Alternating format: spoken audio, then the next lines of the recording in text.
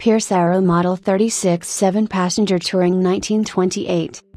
100 bhp, 414 cubic inches T head, 24 valve inline 6 cylinder engine, 3 speed manual transmission, solid front and live rear axles with semi elliptical leaf spring suspension, and vacuum assisted four wheel mechanical drum brakes.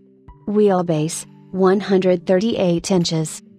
In many ways, this Model 36 7 passenger touring from 1928 represents the ultimate, pure Pierce Arrow, as it was among the final cars produced by the original company before its ill fated merger with Studebaker. Records of Pierce Arrow Society historian Bernard Weiss indicate that the car was originally delivered to a wealthy family in New Jersey who drove it for two years and then put it into storage for another 14. In 1944, it was sold to a Dr. Miller, passing in 1945 to William Wan, a student at the Princeton Theological Seminary. Following his graduation, Reverend Wan drove his Pierce Arrow to California, and it remained in his ownership until 1973, along the way covering some 117,000 reliable miles.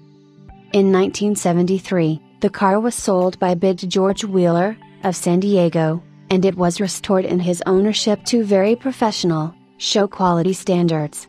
It remained in Mr. Wheeler's good care until 1998 and was then purchased by the noted Pierce Arrow collector Patrick Craig, of Stockton, California, who embarked upon his own comprehensive body off restoration in order for the Model 36 to meet his exceptionally high standards.